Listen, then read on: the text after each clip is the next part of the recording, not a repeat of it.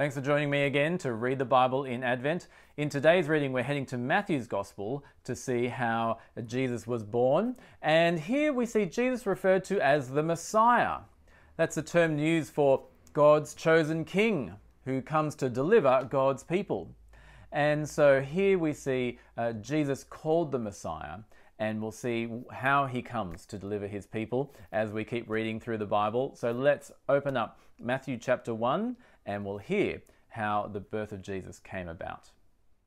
Matthew 1, verse 18 and following. This is how the birth of Jesus the Messiah came about. His mother Mary was pledged to be married to Joseph, but before they came together, she was found to be pregnant through the Holy Spirit. Because Joseph, her husband, was faithful to the law and yet did not want to expose her to public disgrace, he had in mind to divorce her quietly.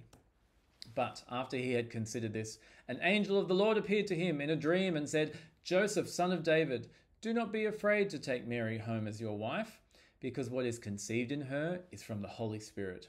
She will give birth to a son, and you are to give him the name Jesus, because he will save his people from their sins. All this took place to fulfill what the Lord had said through the prophet The virgin will conceive and give birth to a son, and they will call him Emmanuel, which means God with us. When Joseph woke up, he did what the angel of the Lord had commanded him and took Mary home as his wife. But he did not consummate their marriage until she gave birth to a son, and he gave him the name Jesus.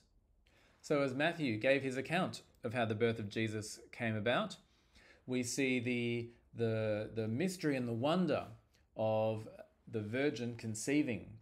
We see Joseph, uh, the one pledged to be married to Mary, uh, think about what he should do. He wants to care for Mary, but also uh, this is a, a dodgy situation. But then, of course, the angel appears to him and explains the whole situation. And we'll go back to uh, that part of the account.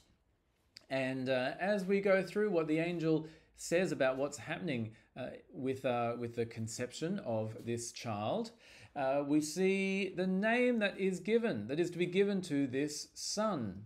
Joseph is to give him the name Jesus.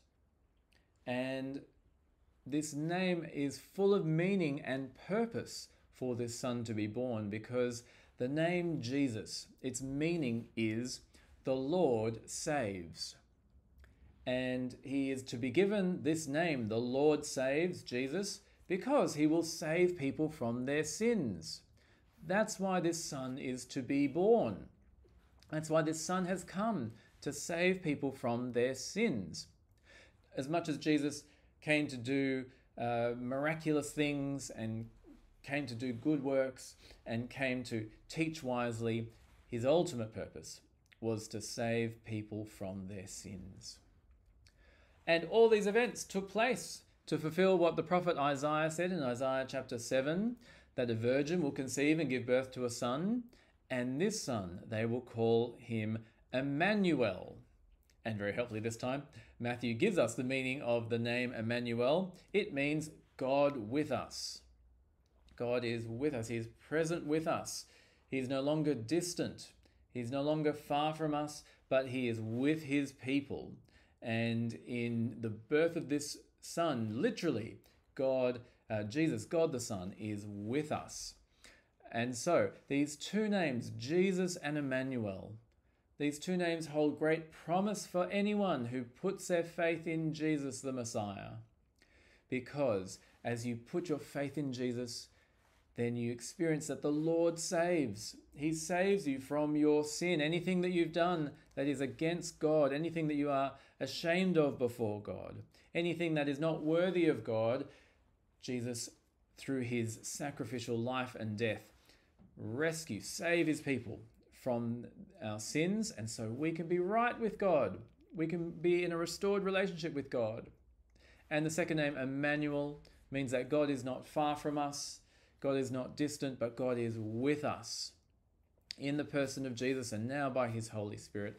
God is with us. He is for us. He is uh, alongside his people. And so, as we look to Jesus this Christmas, remember that it is through him that your sins are forgiven and that it is through him that God is with us.